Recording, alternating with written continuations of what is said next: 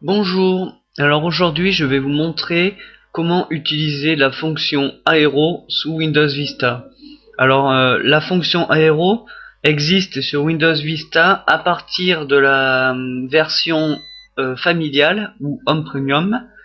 les versions antérieures, c'est-à-dire la version basique, il me semble qu'il y en a une autre aussi juste avant, ne sont pas, n'intègrent pas l'outil aéro. Alors l'outil aéro c'est quoi?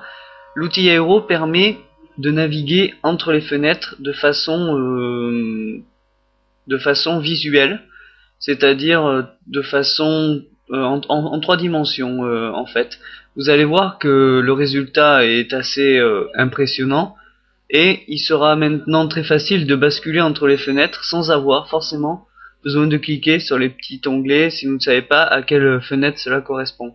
Alors bien sûr, vous avez toujours l'option sous Windows Vista de passer juste la souris sur les petits onglets ouverts pour avoir une visualisation de, euh, de ce qui est en train de se passer à l'écran. Mais il y a une fonction beaucoup plus simple. Alors, il y a deux façons euh, de l'avoir. La version 2D qui est aussi compatible avec Windows XP, c'est-à-dire que sous Windows XP vous pouvez également le faire. C'est euh, en, en cliquant, en appuyant sur le clavier, sur le bouton Alt, alors qui est à côté de la, barre d'espace sur votre clavier côté gauche, et le bouton Tab qui est euh, juste au-dessus du, verrouillage majuscule sur votre clavier. Donc vous restez appuyé sur Alt et vous appuyez sur Tab une fois.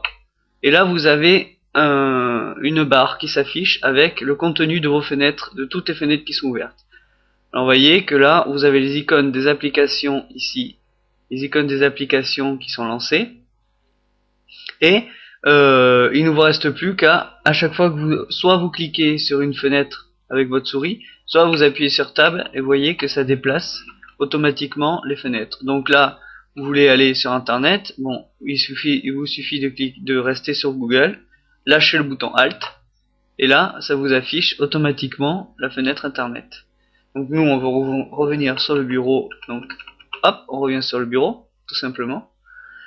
Donc ça c'était pour la version 2D qui existe aussi sur, euh, euh, Windows XP. Et la version 3D, c'est ce qu'on va voir maintenant. Alors là, au lieu d'appuyer sur le bouton Alt de votre clavier, vous allez appuyer sur la touche Windows. Alors la touche Windows, c'est la touche qui se situe justement entre le bouton CTRL et Alt de votre clavier, côté gauche. Donc c'est un petit logo Windows en fait. Donc vous cliquez, vous appuyez, vous appuyez dessus, vous restez appuyé. Et pareil, euh, vous faites tab, tabulation. Hop.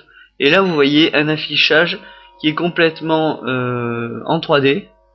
Donc avec toutes les fenêtres qui sont ouvertes. Et là pareil, il vous suffit d'appuyer sur le bouton tab pour changer de fenêtre automatiquement. Alors vous voyez que le contenu est en temps réel. J'ai volontairement lancé une vidéo pour qu'on voit que le contenu des fenêtres est en temps réel et euh, si je lâche j'arrive directement euh, sur la vidéo. Donc c'est vraiment euh, un outil qui est, qui, est, qui est vraiment pratique pour visualiser vraiment, vraiment bien vos fenêtres si vous cherchez quelconque application. Vous pouvez au lieu de faire tab en restant appuyé sur en étant sur cette fenêtre là avec votre souris pareil aller chercher une fenêtre par exemple Word en cliquant dessus. Et vous pouvez également euh, avec la molette de votre souris, déplacer vers les fenêtres comme ça, comme ceci, vous voyez, là je suis en train de déplacer les fenêtres avec ma molette. Et donc euh, de façon euh, très très pratique pour, pour naviguer entre les fenêtres. Alors voilà, les raccourcis typiques, je vous les rappelle, en 2D, Alt, Tab, pour avoir ceci. Vous voyez là aussi c'est en temps réel. Alors que ça, ça, ça marche que sur Vista. Sous Windows XP, la 2D n'est pas en temps réel. Hein. Voilà. Et la version, euh, la version Aero 3D, c'est la touche Windows qui se situe entre la touche CTRL et Alt et la, le bouton tabulation. Et là, vous avez une version 3D de vos fenêtres.